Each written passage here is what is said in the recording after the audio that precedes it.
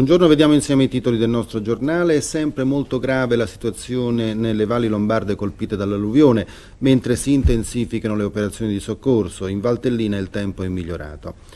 Il Partito Socialdemocratico di Cavaco Silva ha ottenuto la maggioranza assoluta alle elezioni politiche in Portogallo, netto calo dei comunisti di Cugnual.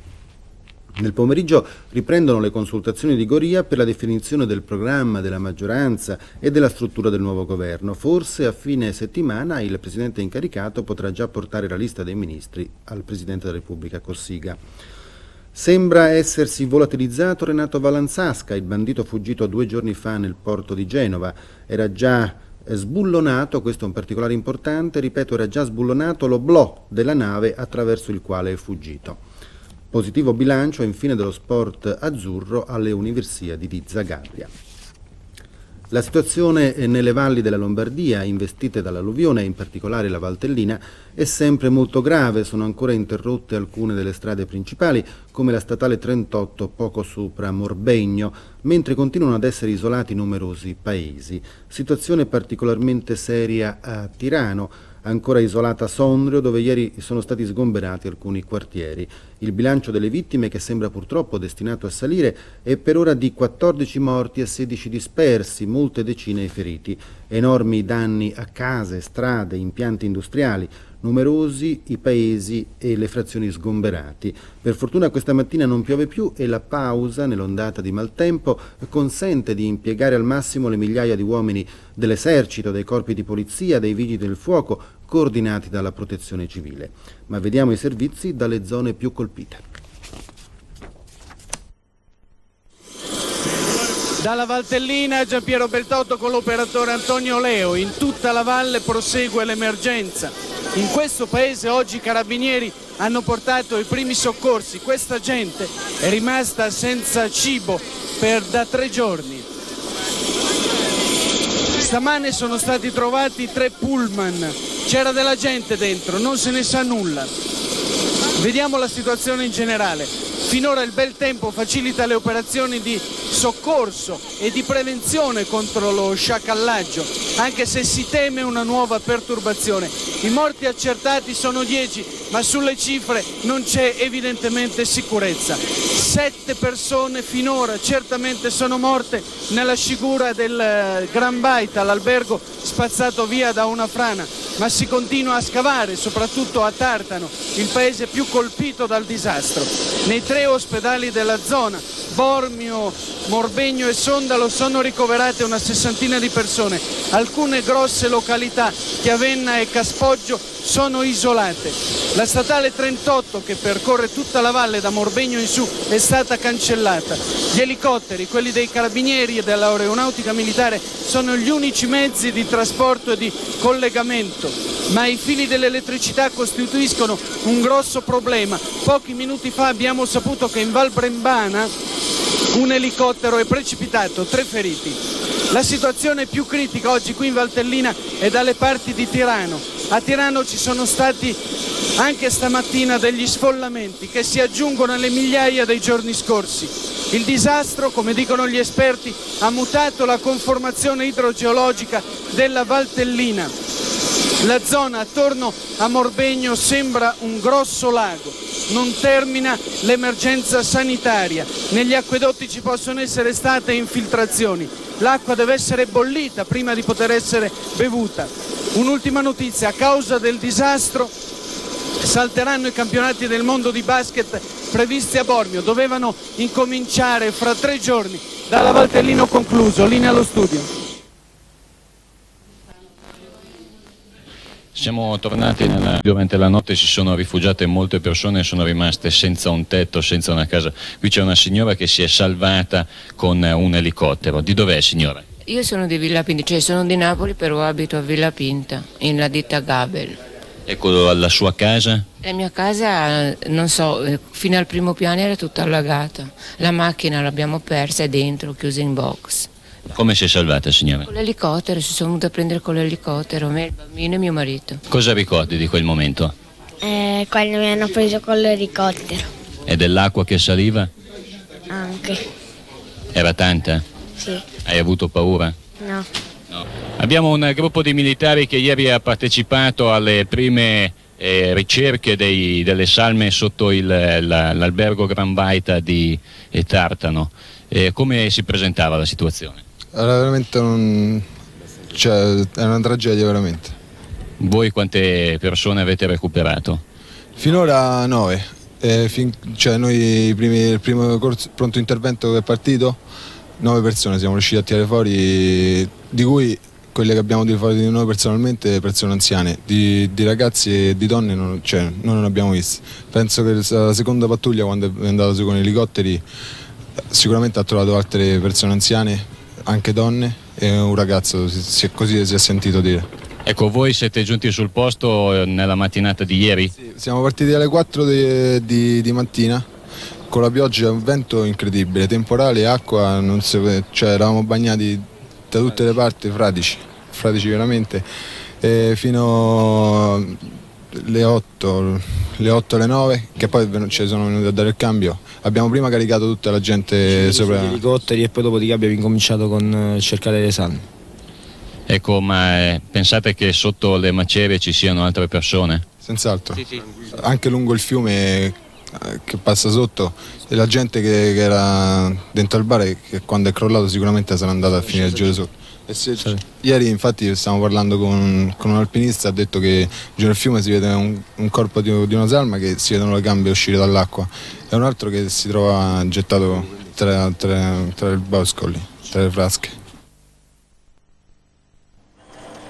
È una cronaca drammatica, convulsa. In queste ore si lotta per salvare chi è rimasto isolato.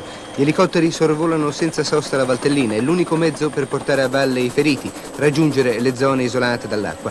E la cronaca racconta mille storie, racconta episodi commoventi, come questo salvataggio, eseguito in condizioni di tempo terribili, in condizioni proibitive. 150 persone, molti bambini, in gita verso Livigno vengono bloccati dall'acqua nella zona di Sant'Antonio, in Alta Valtellina e sabato sera.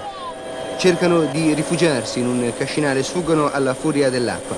L'elicottero li ha raggiunti nel pomeriggio della domenica, dopo 24 ore di inferno. Ecco la testimonianza di una donna raccolta dal collega Giampiero Beltotto. Le drammatiche immagini sono state girate tra mille difficoltà dall'operatore Antonio Leo. Dove c'è quel sasso bloccato la, la, la, eh, strada? Sì. Lì, sono lì così no, tutta la gente. E lì ci sono Anche tre pullman. Tre pullman con, con più 150 più... ragazzi. Di bambini? Ragazzi, non so, poi ci sono bambini qui a 40 giorni, qui 3 mesi, qui 5 mesi, qui 10 mesi. E stanotte come l'avete passato? Eh, in, in, un, in cascinale, senza niente, né mangiare, né niente, né coperte, né niente. Sono solo io la notte che ho passato, la macchina lì in basso che se la portava via, pazienza, amen. E lì ci sono anche i mariti adesso e altra gente qua. È, è brutto, eh. Ma era già dopo. Più a sud la vicenda forse più toccante di questa terribile giornata. Siamo all'ospedale di Morbegno, nel reparto maternità, e con Rosa Fazzini, 30 anni, ed Elena, 4 ore. Le ha trovate all'ospedale il collega Maurizio Losa. La donna, al nono mese di gravidanza, è stata sorpresa nella sua casa a nord di Morbegno dalle doglie. Ha cercato di raggiungere l'ospedale, ma la strada era interrotta. Stamattina alle 6 sono cominciati i primi dolori e siamo venuti giù fino a valle, tutto bene. Poi lì a Ardenno c'era siamo bloccati. Ecco, come ha raggiunto l'ospedale? E un'ora lì sulla macchina con le doglie e poi lì con questo mezzo dei pompieri. Più a sud, in Val Brembana, nel Bergamasco, le squadre di soccorso stanno cercando di raggiungere l'alta valle isolata dallo straripamento del Brembo e dalle frane.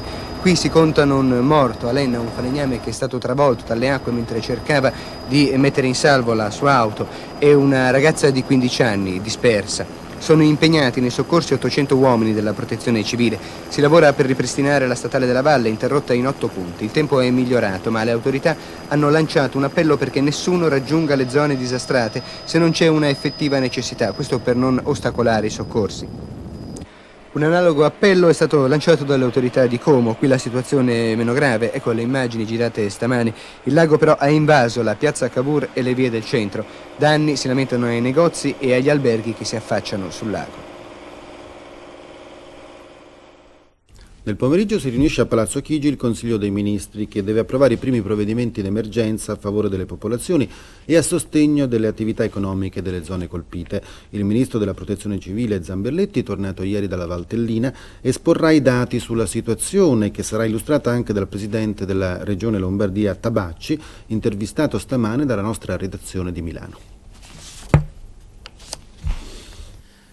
Presidente Tabacci, lei ha chiesto al governo un intervento straordinario in denaro e la dichiarazione di calamità naturale, esatto? Eh, esatto, è quello che abbiamo chiesto, eh, tenendo conto del fatto che il decreto che dichiara la calamità naturale consente di operare eh, con eh, efficacia e tempestività come capita in questi casi eccezionali. Eh, un primo intervento almeno di 250 miliardi, anche se i danni sono quantificabili certamente oltre i 1000 miliardi per il complesso eh, delle attività economiche, delle strutture, delle infrastrutture che sono interessate nelle tre province, in particolare in quelle più colpite eh, Bergamo e, mm, e, Sondrio. Lei sta per volare a Roma dove sosterrà le ragioni della Lombardia in questa situazione difficile. Beh, ieri con Zamberletti già in Valtellina abbiamo messo a punto una prima intesa, stanotte mi sono sentito col ministro Goria, eh, ci si rivedrà nel corso della giornata a Roma per mettere a punto anche un programma straordinario eh, che se anche non sarà definito in questa eh, seduta del Consiglio dei Ministri però resta un impegno eh, fondamentale che è quello di un piano organico per il rilancio sia della Val Brembana, eh, della Bergamasca interessata che della, della Valtellina della provincia di Sondrio. Anche il Trentino Alto Adige è stato colpito da nubifragi e straripamenti. Soprattutto in Alto Adige ci sono stati eh, molti danni e tre persone risultano disperse. Vediamo il servizio della redazione di Bolzano. Un'auto con due giovani altoatesini è stata inghiottita dalle acque in piena del Rio Gardena. Sono salite così a tre le vittime dell'ondata di maltempo in Alto Adige. Un altro automobilista era negato sabato sera nel Rio Solda lungo la statale dello Stelvio. Tre vittime, danni per miliardi di lire ai frutteti pregiati alla periferia di Bolzano e in Val Venosta, la piana di Vipiteno completamente invasa dalle acque, case diroccate in Valpassiria, masi in pericolo per frane e smottamenti, i centri turistici di Solda, Trafoi e altri paesi ancora isolati, la viabilità di montagne sconvolta, la ferrovia Bolzano-Merano interrotta. Questo è il bilancio dell'alluvione in Alto Adige. Nel vicino Trentino è finita la grande paura in Valrendena. Sono stati evacuati ieri un albergo, una colonia e parecchie case a Caderzone alle porte di Pinzolo. Da 30 ore non piove più, il livello delle acque è calato. Qui siamo a pochi chilometri da Bolzano, dove l'Adige ha sfondato ieri gli argini mangiando per un centinaio di metri la massicciata ferroviaria. Si lavora lacramente per ristabilire i collegamenti fra Bolzano e Merano, mentre si rinnovano gli scambi d'accuse fra organi dello Stato e della provincia autonoma di Bolzano che ha investito fior di miliardi nel settore dei bacini montani.